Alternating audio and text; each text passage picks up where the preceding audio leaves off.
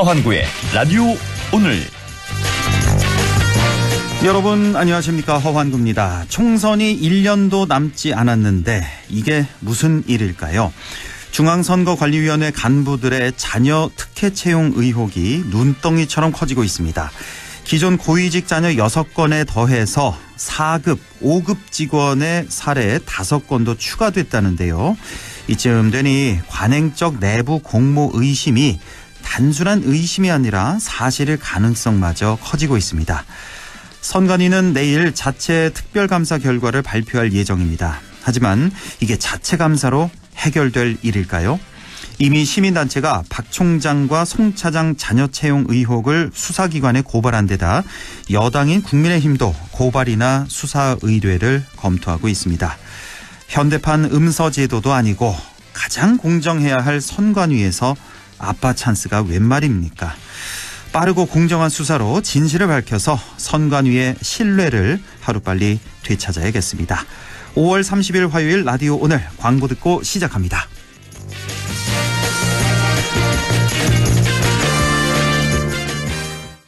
없어 없어졌어 뭐가 뭐가? KG 신개념 리스형 할부 프로그램으로 소비자 부담 없어졌어 60개월 차량 할부 납입금 1일 1만 원대. 거기다 5년 10만 킬로미터 무상 보증. 엔진 오일 교환 5회. 5년 뒤 차량 가치도 보장해 주니까 부담 없이. 토레스, 티볼리, 렉스턴 스포츠까지 5월 KG 모빌리티 전시장에서 5월 가정의 달을 맞아 관절 건강 호관원 프리미엄 골드가 사랑 가득 감사 세일을 준비했습니다. 세 박스를 구입하시면 한 박스를 더 드리는 특별한 기회. 사랑하는 부모님께 건강을 선물하세요.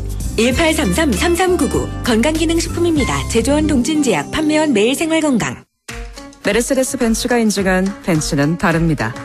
198가지 품질 테스트, 24시간 긴급 출동 서비스, 1년 무상 AS까지. 이렇게까지 해야 메르세데스 벤츠 인증 중고차니까. 변함없는 클래스에 대한 믿음. 지금 전 시장에서 만나보세요. 네, 라디오 오늘 화요일 순서 시작합니다. 1부 안영진의 쾌도 난법 안영진 변호사 준비하고 있고요. 2부 이슈 오늘에서는 공공기관 이전 인센티브 조례안을 대표 발의했죠. 안동시 의회 김세롬 의원을 연결해서 자세한 얘기 들어보겠습니다. 이어서 한 주간의 시사 이슈 알아보는 시간 최유한의 시사 따라잡기도 준비되어 있습니다. 라디오 오늘 유튜브로도 다시 들으실 수 있습니다. 많은 애청 바랍니다.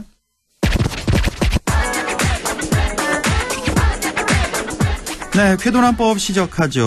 어, 오늘도 안영진 변호사 함께 하겠습니다. 안녕하십니까? 네, 안녕하십니까. 예, 제 22대 국회의원을 뽑는 총선이 이제 1년도 채 남지 않았는데요. 지역에서도 하나평에 오르내리는 인물들이 체육대회나 종친회 등을 방문해서 얼굴 알리게 나서고 있다는 소식입니다. 자, 오늘은 개정된 선거법 내용을 중심으로 해서 선거 기간 전인 지금 이 시점에 허용되는 선거운동의 범위 중심으로 해서 살펴보겠습니다. 자, 말씀 시작해 주실까요? 네네. 그 선거운동은 원칙적으로 선거 기간 개시일로부터 선거일 전날까지 하나에 할 수 있습니다. 네. 다만 이제 공직선거법은 그 예외를 정하고 있는데요. 어, 일단 선거운동의 의미에 대해서 간단히 살펴보면요. 네. 어, 공직선거법은 선거운동이란 뭐 특정인을 당선되게 하거나 또는 되지 못하게 하는 행위를 말한다라고 규정을 하고 있고 또 이러한 경우는 선거운동이 아닌 경우로 본다라고 하면서 음. 선거운동을 선거운동이 아닌 걸로 보는 몇 가지를 정, 어, 정하고 있습니다. 예. 그게 뭐냐면 이제 선거에 관한 단순한 의견 개진 및 의사 표시, 음. 또입 후보와 선거운동을 위한 준비 행위, 뭐 정당 후 후보자 추천에 관한 단순한 지지 반대의 의견 개진 및 의사 표시, 뭐 예를 들면 그런 게 있겠죠. 뭐 나는 아 국회의원 그 사람 참 좋더라, 사람이 좋더라, 또는 네. 뭐그 사람 한 게 뭐야, 뭐 내려오지도 않고 뭐 이런 거, 예. 이런 단순한 의견 개진에 해당하겠죠, 물론. 이거는 선거 운동이 아니란 얘기예요. 지금 말씀하시는 그렇습니다. 건. 예. 예. 그 충분한 어떤 국회의원이나 지역의 어떤 정치 현실이나 그 음. 정치인에 대해서 비판 은 가능하죠. 예. 선거운동이 아니니까요. 예. 그리고 통상적인 정당 활동도 가능합니다. 선거운동이 음. 아닌데요. 예를 들면 뭐 당원들이 모여서 뭐 한다든지 이런 게 있을 겁니다. 예, 예. 또 설날 추석 등 명절 및 석가 석가 탄신의 기독 탄신을 등의하는 의례적인 인사말을 문, 음. 문자 메시지를 전송하는 행위는 선거운동이 아니라고 정하고 있는데요. 네. 뭐그 아실 겁니다. 이제 뭐그 추적설에 쭉 현수 막 붙는 거 있는데 아, 맞아요. 예. 뭐 그런 것도 이것을 일종으로 봐서 선관위는 허용하는 음. 걸로 보입니다. 뭐 문자 메시지도 많이 오잖아요. 정치인들로부터. 이거는 예. 선거 운동이 아니다. 괜찮다는 얘기죠. 그러니까. 예, 하지만 또 이거를 전자 자동 동보 통신이라 그런데요. 뭐 네. 단체 발송하는 거 있다니까 그건 또안 예. 되고 조금 이좀 되고 안 되고가 참 어렵는데요. 아, 이게 사실 좀 많이 헷갈려요. 이 예. 선거 운동이. 그때 그때 선관위에 좀 물어봐야 돼요. 보면은. 저희도 예, 방송하면서 그- 상당히 조심하는데. 맞습니다. 그 사실 서- 무엇이 선거 운동이고 무엇이 선거 운동이 아닌 그냥 단순한 의견 개진인지 등에 대해서는 정말 참 애매합니다. 그래서 너무 그렇죠. 조심스러운데요. 예. 어, 또 뭐 예를 들어 보자면 이, 이 개정법이 한 2020년에 개정이 됐는데 음. 그 전에는 선거를 앞두고 이제 그런 뭐 사람을 만나서 말로 내가 좀 뭐 얘기하면 안 되는 경우가 있었습니다. 네.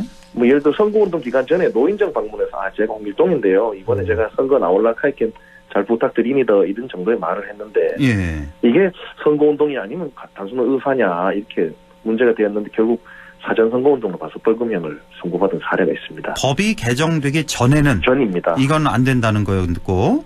예, 근데 지금은 그래서 괜찮다는 얘기죠. 그러니까. 지금도 좀 더 괜찮아지는 쪽 변했는데 뭐 네. 이건 안 되고 되고 아, 저도 오늘 공부하니까 아우 정말 정말 참 정말 오늘 좀 확실히 좀 정리를 해보죠. 그러면. 예 그래도 이 어디 어디까지는 확실히 된다는 거는 말씀드리겠습니다. 음, 하지만 예. 분명히 조심해야 된다는 점인데요. 예. 이 살펴보셨듯이 말 한마디 잘못했다가 형사처벌 받을 수 있으니까 이건 너무하지 않나라는 비판도 음. 있었던 건 사실입니다. 그러니까요. 뭐 심하면 또 당선 무효까지 되고 하니까 예. 정말 예전엔 상당히 까다로웠다 선거 운동이. 예, 저도 그렇게 기억을 하고 있는데. 뭐 예. 당선 무효가 100만 원 이상만 되면 당선 무효인데 어, 그러니까요. 그 노인정 가- 가서 그냥 인사드리는데 제 나온 잘못하는데 이렇게 하면 했는데 벌금 80만 원 나온 사례도 있습니다. 까딱하면 그렇죠. 예. 무효가 될 뻔했죠. 아, 그 정도였습니다 맞아요. 예전에. 예. 자, 2020년에 개정됐다 그랬죠? 공직선거법. 예, 이렇게 예. 개정된 공직선거법은 말로 하는 선거 운동 같은 경우는 뭐 선거운동 기간 전후 불문하고 뭐 전면적으로 허용했다고 하는데 말로 하는 선거운동이요. 예, 예. 그 자세히 좀 설명을 좀 주실까요? 예, 일단 예, 예전에 2020년 말 전에 공직선거법은 예. 뭐 문자 메시 그 선거 개시일로부터 선거일 전까지만 선거 운동할 수 있다고 규정하고 예.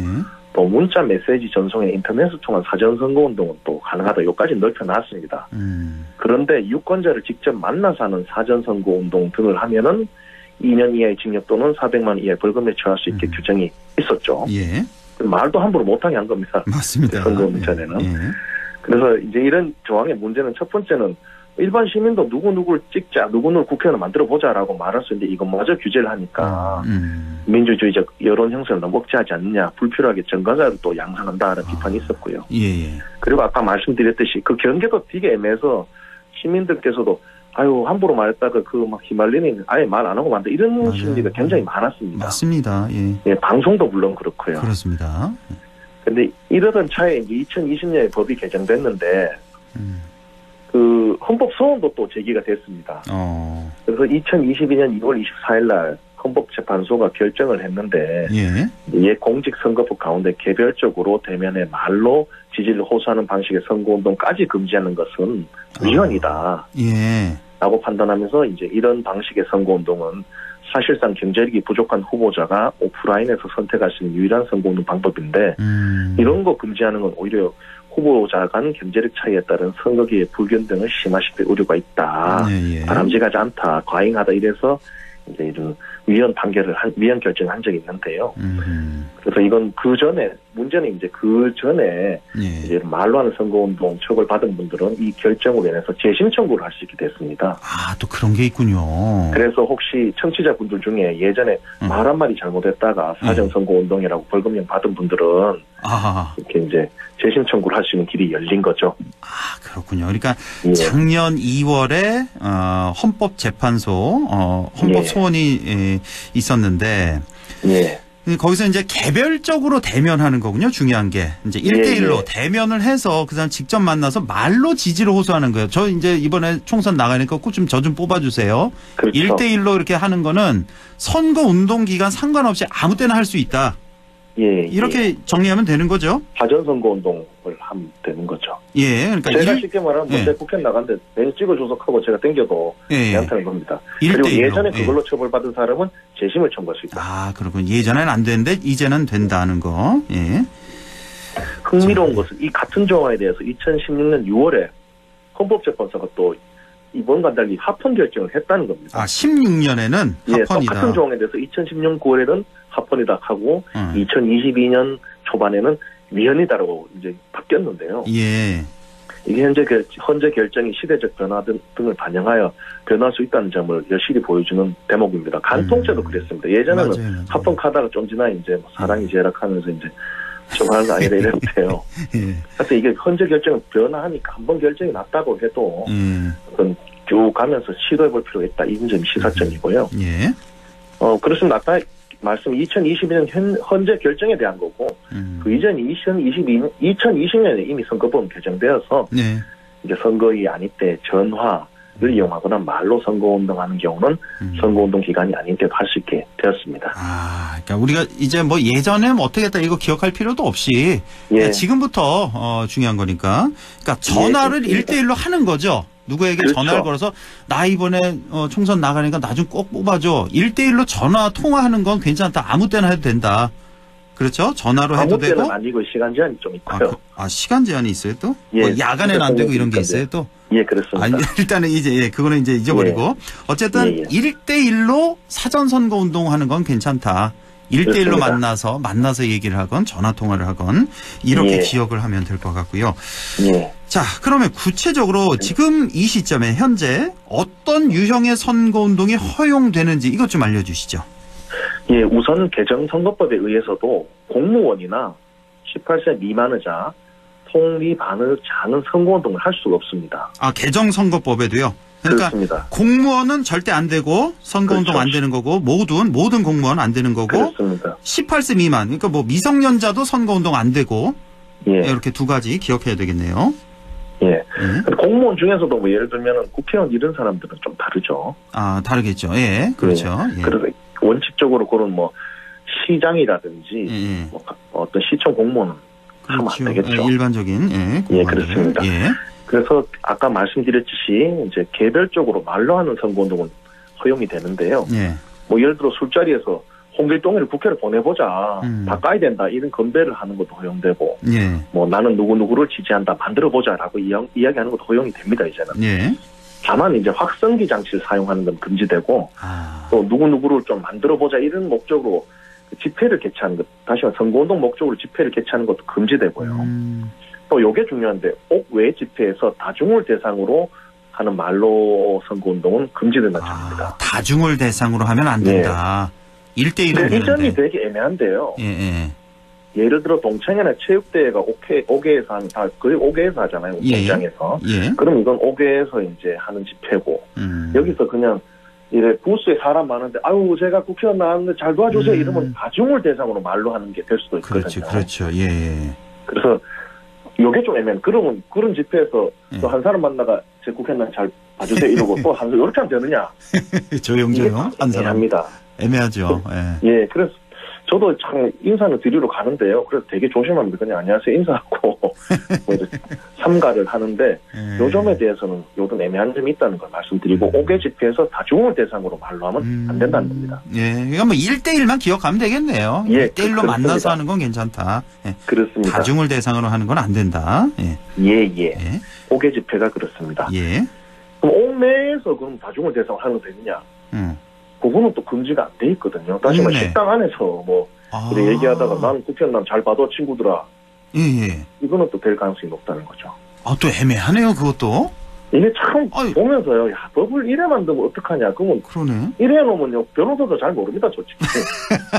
저도 공부하다가 정말 야, 이래 법. 만들어 놓고 뭐 이제 선거 자유가 좋아졌느니 하는데 어. 답답했습니다. 아, 체육대회. 그냥 이지 체육대회를 옥내, 저 체육관에서 하면 어떻게 해요? 실내 체육관에서. 그거는 옥내죠. 옥내죠? 이거는 또 되겠네요. 이런? 경우도 실제로 있었습니다. 어. 그래서 이거는 해도 되냐? 그럼 법에 의하면 되거든요. 그렇죠. 예. 옥외가 아니니까. 참, 참 이게 여는 안 되고 뭐 가가 얘는 비슷하게 여긴 되고 조금 안 되고 이게 참 그러네요. 법을 왜 이래 만드나 저도 참 답답했습니다만 하여튼 출마, 그게 예, 출마하시는 예. 분들은 그때그때 확인하고 하는 게 제일 좋은 것 같아요. 맞습니다. 선관위. 예, 맞습니다. 그때 그때. 예. 그래서 그 점이 하여튼 음. 온, 외 집회에서 다중대상 말로 하는 선거운동은 예. 지금 실제로 그 출마하고자 하는 분들이 막 땡기면서 하는데 조심할 필요가 있다는 말씀을 드리고요. 그렇죠. 예. 예. 자, 전화에 대해서 살펴보면은 전화로 하는 선거운동도 허용이 되는데 음, 선거기간 운, 운동 전에도요. 예. 그 송수화자랑 직접 통화하는 방식만 가능하고 아, 컴퓨터 이용 자동 통신 장치가 제, 제외됩니다. 아하. 예를 들어 그런 거 있다 하면 그 뭐 갑자기 전화하는데 뭐 누구 누구입니다. 안녕하십니까. 뭐, 음. 뭐 이쪽 인사를 외화서 하는 거 있다니까 녹음해서 예, 예, 예. 그건 그런 건안안 된다는 된다. 거고요. 아. 시간적으로는 오전 6시부터 오후 11시까지만 가능하다고 아, 심야, 합니다. 심야 시간엔 안 되고. 예, 안 그러니까 됩니다. 직접 통화는 괜찮고. 예. 그렇습니다.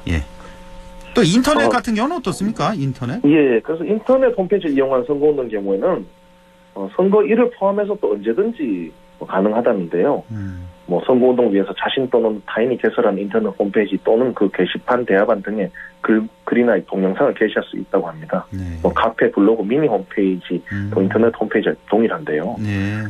여기서 조금 이제 선관위 홈페이지에 나와 있는 몇 가지 질문과 답을 인용해 보면요. 예.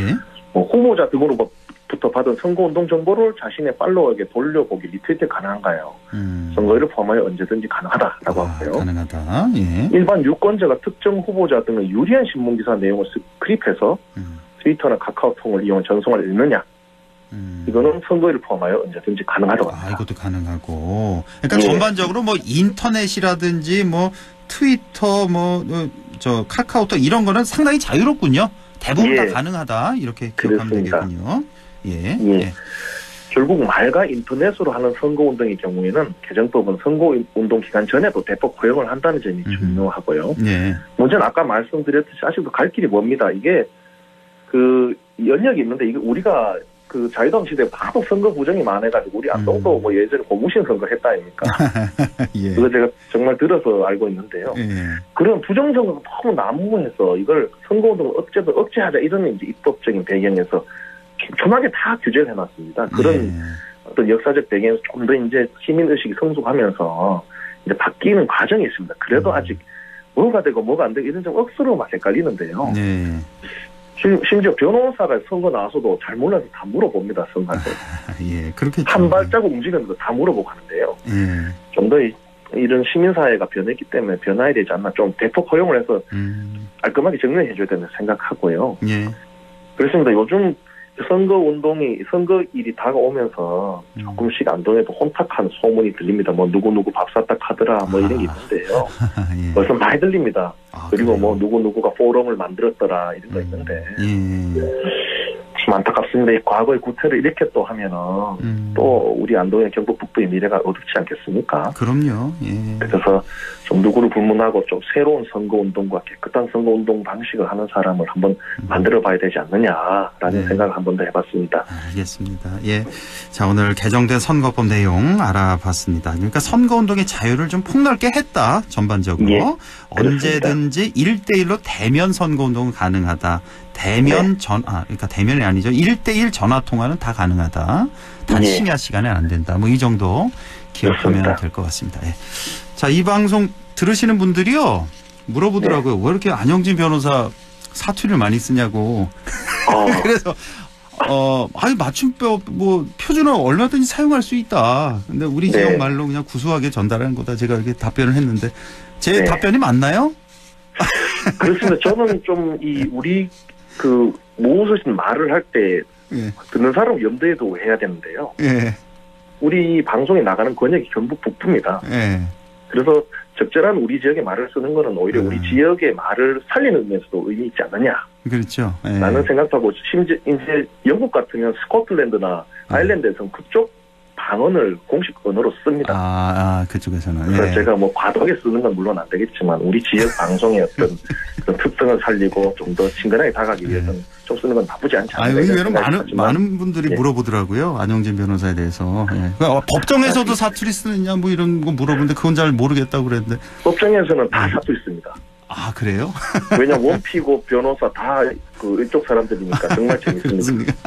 정말 재밌어요. 방송에서는 전달을 충실히 하는 전제에서 알겠습니다. 적절하게 쓰도록 하도록 하겠습니다. 네, 지금까지 쾌도난법 안영진 변호사와 함께했습니다. 고맙습니다. 감사합니다. 네, 라디오 오늘 2부에서 뵙겠습니다.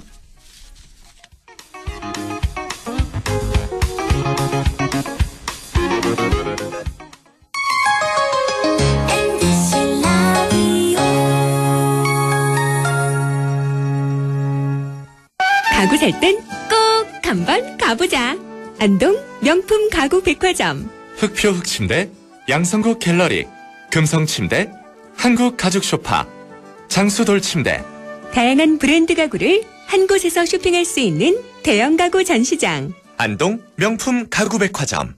네 얼굴 와 글로. 야근한다고. 티다. 네 월급은 와 글로. 최저임금은 안 오르지. 어? 물가는 오르지. 하, 내가 진짜 박스 죽겠다 물가는 내리고 최저임금은 올리고 민주노총 경북지역본부가 앞장서겠습니다. 1577-2260 안동과학대학교에서는 6월 12일까지 지역산업 연계 바이오 백신 인력 양성 과정 교육생을 모집합니다. 신청 자격은 만 18세부터 만 39세 이하의 경력 단절 또는 미취학자로 안동시에 거주 중이거나 안동시 교육기관 졸업생 또는 졸업 예정자라면 누구나 지원 가능하며 교육비는 전액 무료입니다.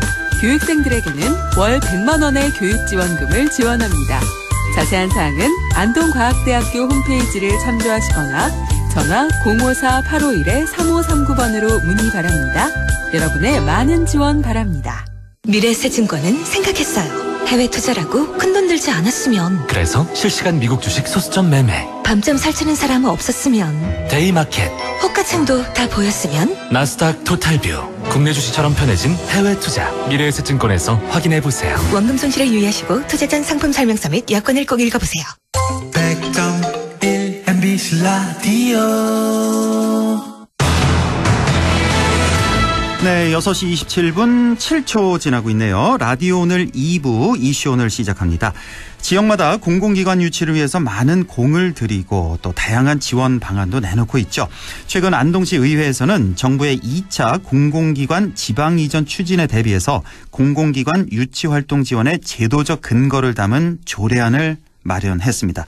자, 대표 발의한 분이죠. 안동시 의회 김세롬 의원 민주당 소속입니다. 김세롬 의원 연결해서 자세한 얘기 들어보겠습니다. 자, 김세롬 의원님 안녕하십니까? 네, 반갑습니다. 안동시 송화동 북구면 서면 김세롬 의원입니다. 예, 반갑습니다. 지난해 네. 6월 당선돼서 이제 초선 의원으로서 1년 가까운 시간 아, 보내고 계신데 아, 뭐 여러 의안도 발의하시고 바쁜 시간 보내고 계신 거 제가 알고 있거든요. 저희 네. 안동 MBC 사생 결담에도 자주 출연하시고 좋은 네, 말씀도 많이 맞습니다. 해주고 계신데 자 지난 1년 뭐 어, 짤막하게 활동 소감 좀 여쭤볼게요. 네, 저뭐 시민 운동가 출신인 건 다들 아시다시피 뭐 그런데 일상과 행정의 간극을 메우는 민생 입법 활동에 굉장히 주력한 1년이었습니다. 모든 일을 거침없이 추진하는 불도저로도 활동하며 어, 시민의 충실한 대변인으로 행복하게 활동을 했다고 생각을 합니다. 예. 제가 잠시 자기 PR을 하자면은 예. 의정 활동 했던 걸 좀 말씀드리고 싶었어요. 1년 동안에. 예, 예. 제가 안동시 사회적 경제활동 지원조례 일부 개정 조례안을 발의하였고요. 네. 그다음에 안동시 기후 위기 대응을 위한 탄소 중립 녹색 성장 기본 조례안 그리고 음. 대표 발의했던 게 어, 촉구 결의안을 발의했던 게 있는데요. 음. 일본 후쿠시마 원전 오염수 해양 방류 결정 철회 촉구 결의안 아, 예. 그리고 지난 25일에 공공기관 등의 유치를 위한 지원에 관련한 조례안이 있었습니다. 예, 네. 그렇군요. 네. 아, 의원이 되시고 나서 좀 어떻습니까? 적성이 잘 맞던가요? 어떤가요? 처음에는 적성이 맞는가 정말 많이 자문도 많이 울기도 많이 울었습니다. 아, 제가 이렇게 울기도. 활동, 네, 많이 울었습니다. 제가 주민들을 위해 정말 열심히 하고 있는데 이게 정말 최선인가 스스로 자문하는 시간을 참 많이 가졌었는데요. 예, 예. 지금도 스스로 자문을 끝없이 하고 있지만 좀 더 생각을 바꿔서 음. 살면서 이렇게 많은 어머님, 아버님들에게 언제 이렇게 많은 사랑을 받을 수 있을까라는 감사한 마음을 가지면서 의정 활동을 하고 있습니다. 그렇군요. 계속해서 자문을 네. 하는군요. 내가 이거 잘하고 있는 건가. 네. 그래서 어, 힘들어서 울기도 많이 하시고 그렇군요. 네, 뭐 여러 안할 가지, 수가 없더라고요. 예, 민생 입법 활동도 아주 어, 활발하게 이렇게 하셨네요. 보니까 1년밖에 안 됐는데 대표 발의도 많이 하시고 자 어, 조금 전에 말씀하신 게 그 후쿠시마 오염수 그 방류 철회 네. 촉구 결의안을 대표 발의하셨다고 했는데 네. 자, 뭐 최근에 어, 시찰단도 다녀오고 어 일본에서는 또 일본산 수산물 수입 재결도 요구하기도 하고 참 여러 가지 에, 일들이 많이 있었는데요. 어, 뭐 일련의 상황 어떻게 보시는지요?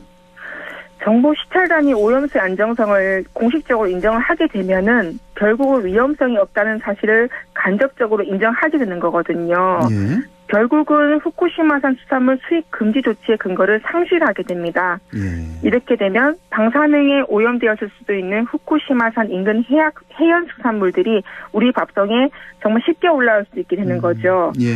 우리나라 수산물 섭취하는 양을 보니까 국민 1인당 연간 58.4kg의 그 수산물을 소비를 하고 있고 최고는 매일 200g이 이제 저희 밥상에 올라오는데 그 밥상에 방사능 오염 가능성이 높은 수산물을 섭취 할 수 있다는 걸 가정했을 때 대한민국의 미래가 굉장히 어둡게 보이는 거지요. 예. 여기서 제일 중요했던 거는 마셔도 되는 물을 왜 바다에 버리는가 이거인데요. 예. 우리가 정확하게 알아야 될 건데 이게 오염수 속에 들어있는 스트로튬이랑 산중 삼중수소라는 거는 걸러내지조차 못하는 성분입니다. 예. 이게 가장 중요한 팩트인데요. 오염수 속에 포함된 방사능 물질에 대해 잠깐 이게 두 가지 얘기를 드리면은 예. 스트론튬 같은 경우는 최악의 방사성 물질로 분류되어 있고요. 뼈에 축적되어서 빠져나가지조차 않기 때문에 혈액, 혈액암과 골수암을 일으키고 있습니다. 예. 그리고 세슘 같은 경우 많이들 익숙하실 텐데 예. 뭐 전신마비, 불임, 각종 암 유발에 아주 뭐 저희가 익숙하지요. 이런 것들을 저희가 먹을 수 있는 위험성이 굉장히 있다고 봅니다. 그러니까요. 우리 밥상에서 수- 수산물 빼면은 뭐 먹을 게 뭐가 있을까요? 뭐 그쵸. 고, 기 먹고 김치 먹고 그것도 하루에 김치에도. 젓갈이 들어가잖아요, 아, 그, 저희가. 아, 다 들어가네요 보니까. 예. 네. 그래서 심각합니다, 이게. 정말 심각한데 글쎄 우리 정부에서 왜 이렇게 하는지 아, 이게, 이게 오늘 본론이 아니니까요. 예. 네. 자, 본론을 좀 들어가 보죠. 어, 최근에 우리 김세롬 의원이 안동시 공공기관 등의 유치 및 지원에 관한 조례안을 대표 발의하셨어요. 자 네. 이번 조례안을 발의하시게 된 배경부터 좀 설명해 주시죠. 네, 사실 올 초부터 준비했던 부분인데요. 이게 정부의 국정 목표를 우리가 살펴봐야 되는데 국정 목표가 어디서나 살기 좋은 지방시대 건설을 위한 제2차 수도권 공공기관 지방 이전 계획이 있습니다. 예. 그리고 이게 지금 최근에 굉장히 많이 가시화되고 있고요. 근데 여기서 중요한 거는 이제 기존의 혁신도시만 공공기관 이전 대상지였는데 혁신도시 외 비혁신도시와 인구 감소 지역에도 공공기관 이전이 가능하도록 법령을 개정하겠다는 정부의 움직임이 여야를 막론하고 생기기 시작하였습니다. 근데 이게 지금 법률안 통과된 건 아니죠. 지금 움직임만 어, 지- 있는 상태죠. 지금 송재호 의원이 지난주에 네. 그 지방자치 분권 및 국가균형 발전에 대한 그 특별 법안을 발의하여 통과를 하였고요. 아, 지난주에요. 예. 네, 통과했고. 앞으로 두 개가 더 있는데 한 개는 이제 엄태영 의원이 혁신 도시 조성 및 발전에 관한 특별법 개정안을 발의할 예정이고 또 우리 지역의 안동 예천 지역의 김영준 국회의원도 국가균형 발전 특별법 일부 개정안을 발의할 예정입니다. 아, 여기 다 이런, 이런 특별법들이 다 이 내용이 포함되어 있는 거군요. 공공기관 네. 이전에 관한. 예. 네. 예. 네, 제가 뭐 의도한 건 아니었는데 이번에 그 안동시 공공기관 등의 유치 및 지원에 관한 조례가 본회의에 통과된 날에 우리 권기창 안동시장이 전국 18개 지자체장들과 국회에 올라가 인구 감소 지역에 공공기관 우선 배치를 해달라라는 성명을 발표하였습니다. 음. 예, 예. 그렇기 때문에 공공기관이 안동시에 이전하게 될 시 실질적으로 지원 가능한 부분을 발빠르게 조례로 발의한 덕이 또 되기도 하였습니다. 예. 네, 국가 균형 발전과 안동시 발전이라는 목표를 실질적으로 실현하기 위해 그 수도권에 밀집된 공공기관 등을 안동시로 이전 유치하기 위한 적극적인 노력이 아마 공공기관 유치를 효율적으로 적극 추진할 수 있는 필요한 근거를 이제 만들었기 때문에 안동시는 앞으로 또 발빠르게 더 이전이 더 되지 않을까 하는 네. 희망을 갖고 있습니다. 예, 예. 지금 뭐 지방 소멸 문제, 균형 발전 문제 너무나 심각한 중요한 문제고 뭐 이런 상황에서 여야 따로 없네요. 지금 말씀 들어보니까 여야 네, 없고 그렇습니다. 뭐 입법부 행정부 따로 없이 모두가 한 마음으로 이렇게 공공기관 지방 이전을 추진하고 있다. 예, 이런 말씀이시고요. 네. 자, 국가균형발전위원회 360여 개 공공기관의 지방 이전 기, 본 계획 확정으로 이제 앞으로 유치전이 각 지자체마다 이제 더욱 더 뜨거워질 것 같은데 아, 미리 좀 대비할 필요와 의미가 있겠네요. 네, 사실 360개 공공기관이었을 때는 좀 괜찮았는데 지금 갑자기 500여 개까지 이전 대상 공공기관이 늘어났습니다. 아, 그래요? 360여 개가 아니라 500여 개까지 늘어났다. 이건 뭐 좋은 일이네요. 더 늘어났다는 네, 그런데 거. 예. 이게 500여 개의 정확한 리스트가 나와 있지 않는 게 지금 좀 문제지요, 사실은. 아. 그래서 이 리스트가 빨리 확정되고 내려오는 게 안동시의 초유의 지금 관심사입니다, 지금 현재. 예. 왜냐하면 각 지역마다 치열한 유치 경쟁을 벌이는 만큼 어떤 기관이 대상인지에 따라서 안동시가 전략적으로 공공기관 이전을 위해 준비할 부분들이 있기 때문입니다. 예. 그 안동 같은 경우는 수도권까지 2시간이면 갈 수 있고 또 도청이 들어선 곳이기 때문에 좋은 성과를 이뤄내지 않을 까 하고 생각을 많이 기대하고 있는 상황입니다. 그렇습니다. 예, 기대가 많이 되는데 자 이번 조례안에는 어떤 내용이 포함되어 있습니까? 네, 조례안에는 대표적 지원 사항으로는 이전하는 공공기관에 대한 불편 해소를 위해 행정적 지원을 하겠다라는 내용인데요. 예. 전담 공무원을 지정하고 재정적 지원으로 이전에 필요한 기반 시설을 조성할 수 있고 그다음에 시설 용지도 이제 차액을 보장하고 공유 재산 대부료 또는 사용료를 최대 80%까지 감면 지원을 하고자 한 내용과 예. 이전 공공기관의 지원에 대한 이주 정책 자령, 장려금 및 자녀 학, 장학금 지원, 그다음 주택자금 대출 이자 이런 것들이 있어서 예. 공공기관만 이전하는 것이 아니라 직원들도 같이 이전을 해서 정주의 인구수를 늘리겠다는 내용이 들어가 있습니다. 그렇죠. 그 직원 한 명만 이사 와서 혼자 살고 또 주말에 또 서울 가고 뭐 이런 거보다는 가족이 다 그렇죠. 올수 있게끔 환경을 개, 아, 마련하겠다. 그러니까 뭐 행정적으로 재정적으로 모든 지원을 다 쏟아붓겠다라는 그런 네. 조례한 내용인데 이거 모든 지자체가 다 비슷하게 할 것 같은데 이 지원은 그래서 좀 차별화된 뭔가가 좀 있을 것 같습니다. 지금 뭐 예, 행정부에서 네, 좀 지금 더, 조례도 예. 각 지방에 다, 있- 다 다른데 지금 현재로서는 안동이 가장 많은 지원과 좀 획기적인 좀 제안을 좀한 상황입니다. 아, 그렇습니까? 예, 네. 다행입니다. 자, 여러 지역에서 이제 어, 공공기관의 지방 이전 주목하고 있는 이런 상황인데 공공기관이 지방으로 옮겨오게 되면 그 지역은 뭐 여러 가지 이득 얻을 수 있기 때문일 텐데요. 뭐 어떤 효과 또 의미가 있을까요? 어, 정부에서는 지방 강화를 통해 국토 균형 발전을 추진하고 지방 소멸을 막고자 추진하는 만큼 공공기관에 근무하는 직원들이 이전된 지역으로 이동하여 그 지역에 정착했을 시에는 그 해당 지역 활성화 및 발전에 이바지하게 하는 것이 주요 목적입니다. 예. 이 인구가 지속해서 감소하고 있는 지방에 전입 오는 인구가 많아지게 되고 전입 온 공공기관들의 세금은 또 전입 온 직원들이 또 안동에서 또 소비를 하면 경제 활성화와 세수 확보하 세수 확보까지 되기 때문에 경제 활성화가 충분히 가능해지는 거죠. 예. 예, 이를 토대로 지역의 세수가 증가하면 지방세 수입 증가로 지방 분권도 활성화되고 공공기관의 일자리 덕분에 살고 싶은 안동 아마 살만나는 안동이 되지 않을까 보고 있습니다. 예. 예, 뭐 하나만 더 말씀드리면은 안동시 입장에서는 인구 유입과 세수 증대로 지방의 권한이 강화될 것이고요. 그렇게 되면 우리 안동시에 맞는 공공기관이 이전돼서 해당 공공기관이 활동하는 것에 있어서 안동시의 현실에 맞는 정책을 펼쳐 사실상 우리 안동시의 권한을 나눠주는 것과 같은 영역, 역할을 하지 않을까까지 저희가 기대를 하는 거죠. 예, 알겠습니다. 한 500여 개까지 이제 공공기관이 내려올 어, 것 같다는 그런 예상인데 아직 뭐 정확한 리스트가 나와 있지 않은 그런 상황인데 안동으로 온다면 좋을 만한 공공기관 지금 뭐 선뜻 이렇게 가장 먼저 생각나는 공공기관 어떤 게 있을까요?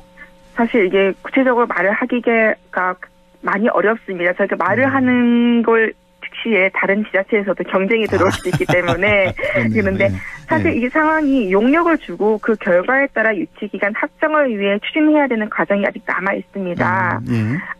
안동시는 지난주에 조직 개편안이 통과가 되었는데요. 거기에 보면은 관광과 관련해서 많은 힘을 실는 체제로 변모하기 위해서 이번에 그런 내용이 개편안이 통과가 되었습니다. 음. 그래서 제 개인적으로는 관련돼서 문화 관광이라든지 또 다들 아시다시피 그 바이오 백신 관련된 공공기관이 많이 있기 때문에 예, 예. 그런 기간이 오지 않으면 좋을까라는 생각도 하고 있고요. 음. 제가 또 유일하게 그 사회복지사 활동을 하던 그 사회복지사 출신의 안동시의원이다 보니까 음. 그 관심을 갖던 게 이제 안동시가 웬만한 광역시보다 사회복지 시설이 많은 조금 특성을 지닌 도시인데 많은 분들이 모르세요. 아, 그래요. 그, 네, 그렇기 때문에 이와 관련되어서 사회복지와 관련된 공공기관이 안동시에 오면은 그 역할을 제대로 하지 않을까 하는 바람도 음. 아, 있습니다. 그렇군요. 예, 문화 관광 분야 또 바이오 백신 또 사회복지 관련 이런 공공기관 지금 염두에 두고 네. 있다. 그러니까 어, 김세롬 의원 그 개인적인 생각이에요, 그렇죠? 네, 좀 적당할 것 맞습니다. 같다 이런 생각이시고.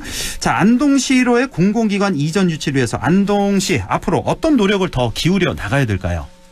이제 막 조례가 통과되었습니다. 뭐 조례가 통과되자마자 정말 많은 분들에게 너무나 좋다 여야를 이제 나누지 않고 하는 그러한 진짜 지방 정치가 시작됐구나라는 응원 연락을 정말 많이 받았는데 이럴수록 더 꼼꼼하고 체계적으로 나아가야 한다는 그 책임감이 굉장히 막중하더라고요. 예. 예, 조례 통과해서 끝나는 게 아니라 우선 조례에 있는 안동시 공공기관 유치위원회를 제대로 된 이사로 구성해 나가는 게 제일 첫 번째 발걸음입니다. 예. 그런 후에 용역을 줘서 공공기관 이전 시 지원해주는 내역별 세부 혜택과 방안을 실현 가능한 부분으로 철저히 더 준비를 해야 됩니다. 네. 그리고 가장 중요한 게 남아 있는데요. 의회와 집행부가 함께 협동하여 움직일 필요가 있다는 거죠. 예. 예, 제 생각에는 예를 들면은 뭐 공공기관 이전에 적합하다 생각되는 기관을 의회와 집행부가 같이 공동으로 방문하여서 적극적으로 유치하겠다는 의사를 피력하는 등의 활동을 함으로써 음. 안동시에서는 어, 해당 공공기관을 너무 모두가 환영하고 적극적으로 유치하고자 하는 의지를 알림으로써 좀더 많은 저희가 혜택을 볼 수 있는 공공기관을 좀 유치하는 게 좀 좋지 않을까 생각을 하고 있습니다. 의회와 집행부의 합심 이게 가장 중요하다는 말씀이시고 네. 아 이걸 말씀하셔서 좀 갑자기 궁금한 게 지금 안동 시민들 많이 궁금해하시거든요. 네.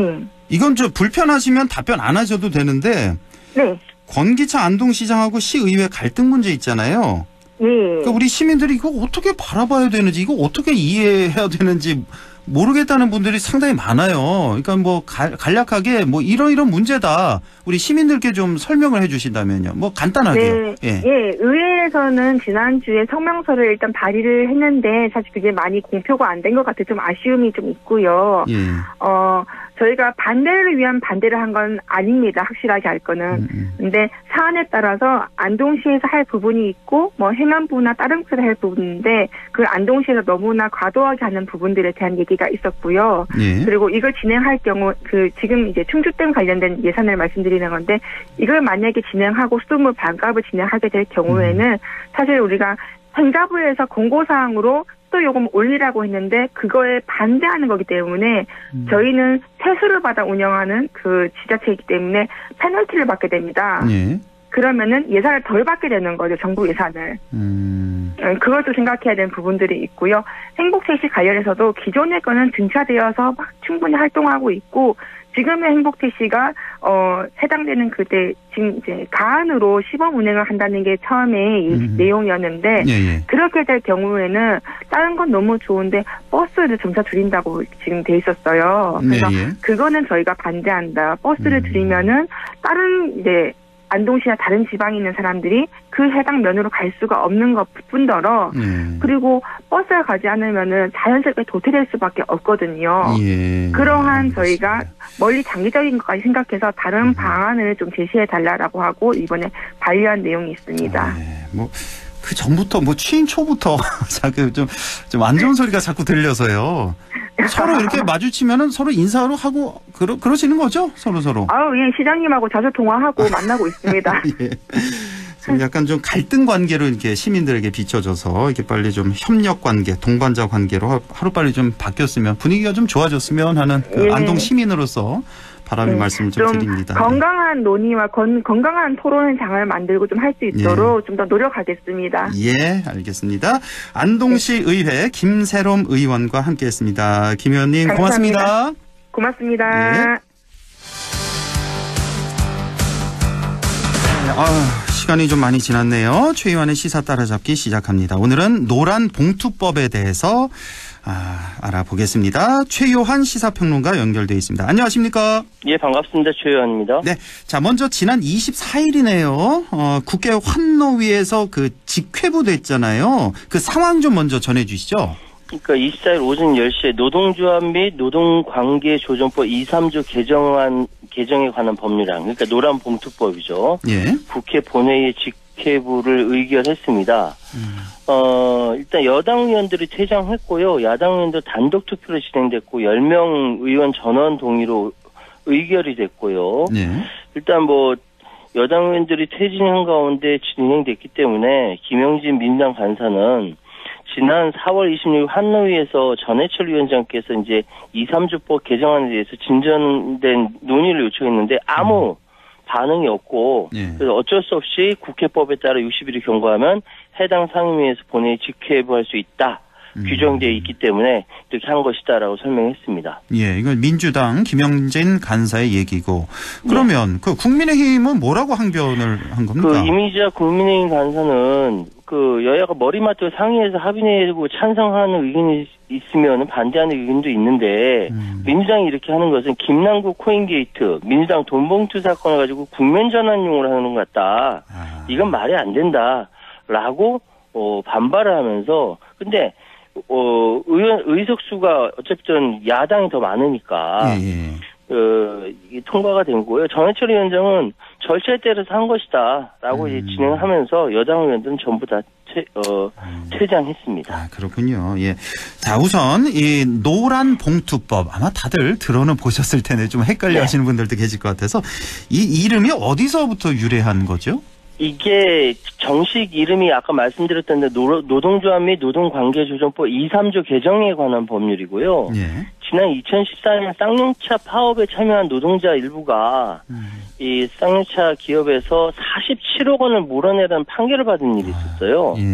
그래서 이 소식을 들은 시민들이 성금을 모아서 전달했는데 그때 노란 봉투로 전달했거든요. 예, 예. 근데 우리가 예전에 우리 아버님들 저기 회사에서 월급 받을 때 노란 봉투 받지 않았습니까? 마- 맞습니다. 예. 맞아요. 예. 그래서 이름이 노란 봉투법인데 이 더불어민주당 이재명 대표가 이 법의 취지를 명확히 하고자 합법 파업 보장법 또는 손배 가압류 불법 남용 방지법을 부르자 이렇게 이야기했어요. 합법 파업 보장법 예. 이렇게 부르자. 손배 가압류 불법 남용 방지법. 음. 그러니까 노란봉투법이 불법 파업을 보호하는 것을 알려져서 음. 반대하는 여론이 있기 때문에 아. 합법 파업 보장법 등으로 명칭을 변경하는 건 어떠냐. 음. 친노동과 친기업이 양립 불가능하지 않다라고 주장하면서 이런 얘기를 했네요. 예, 뭐 어, 일리가 있는 어, 말, 말인데 예. 근데 노란 봉투법이 딱 기억에 잘 남아서 예. 네. 자 이렇게 노란 봉투법이라는 이름으로 불리고 있습니다. 자 일단 좀 더 구체적으로 알아보자면 이 법안 내용이 어떻게 구성돼 있나요? 그러니까 기본적으로 이 법으로 인정하는 파업의 범위를 좀 넓혀서 노동자들이 파업할 권리를 더 폭넓게 보장하겠다 이 내용입니다. 예. 첫째는 무조건 불법 파업이 되지 않게 사실 파업하는 게 임금이나 근로시간 복지 등의 요구가 아니면 불법으로 보거든요. 예, 예. 구조조정 반대한다는 파업도 역시 인정하지 않습니다. 아, 그것도 불법입니까? 구조조정 반대도. 예, 맞습니다. 예, 그래서 예. 무조건 불법 파업이 되지 않게 한다. 음. 이게 첫 번째고 두 번째는 기업의 무분별한 소송을 막는다라는 겁니다. 예. 그 기업이 어마어마한 돈으로 노동자들한테 이제 예, 그 뭐랄까 소송하는 거는 파업하지 못하던 노동자를 겁주는 거거든요. 음. 그렇죠. 예. 그 이거 막는다라는 거고 세 번째는 원청이 대화를 피할 수 없게 한다. 아. 그러니까 노조가 기업에 대화 좀 하자라고 하면은 원청은 하청 기업에 니네가 알아서 해. 나는 뭐 대화할 필요 없어 라고 피한다는 거죠. 예. 예. 그래서 이게 대화가 잘 안 되는데 원청이 대화를 피할 수 없게 한- 하자.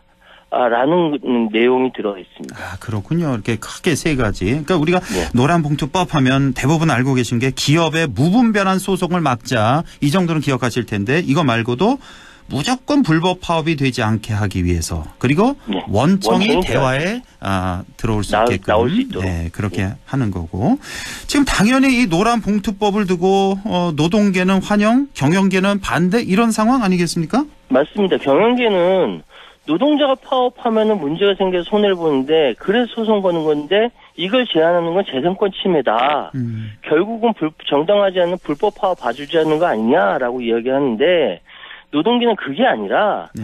불법 파업을 보호하자는 게 아니라 지나치게 좁았던 합법 파업 범위를 넓히자는 것이다. 예. 부당하게 구조조정 중인데 그거 파업한다 불법으로 몰아서면 노동자들 어떻게 사냐 이렇게 이야기하는 겁니다. 예.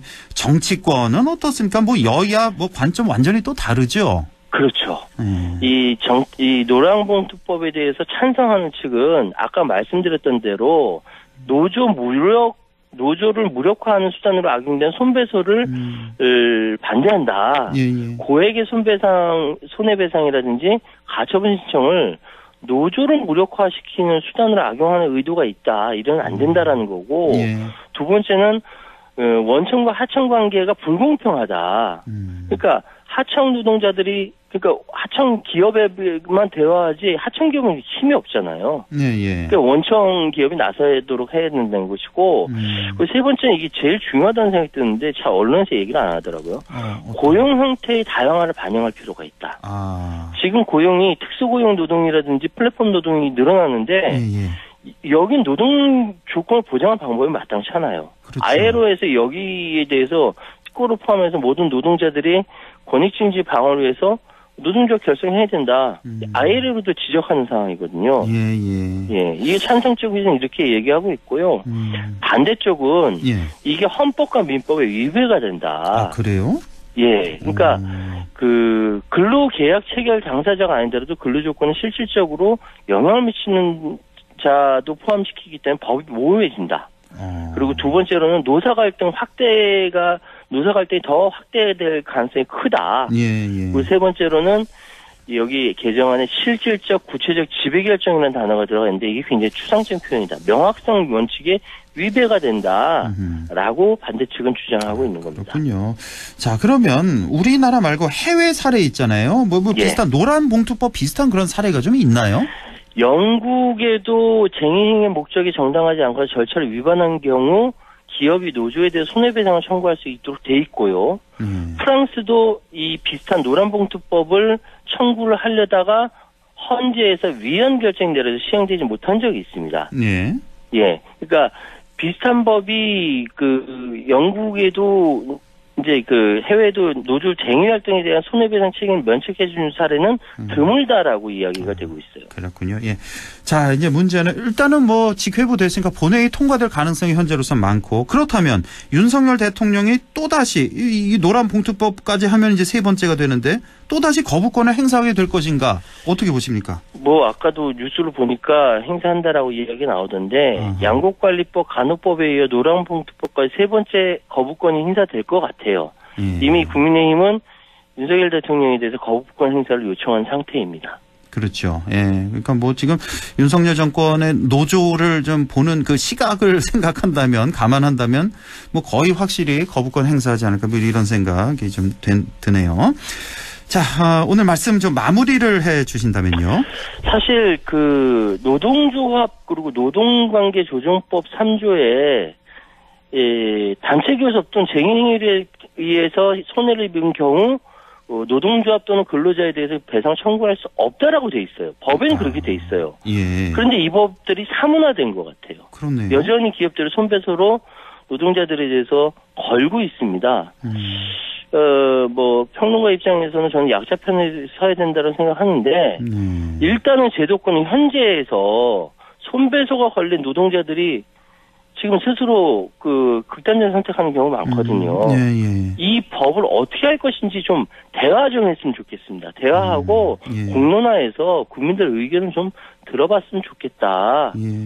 예. 예, 법이 있으면 뭐 합니까? 예, 그런 생각이 드네요. 뭐 우리 노동자도 뭐 한 달에 뭐 몇백만 원 버는 그런 노동자들에게 뭐 수십억, 수백억씩 손배소를 어. 제기를 하니까 말도 안 되는 거고. 사실 우리 최요한 평론가는 그 누구보다도 또 중립을 지키는 그런 평론가인데 오늘은 약간 이 노란 봉투법에 손을 좀 들어주는 그런 말씀으로 들리네요.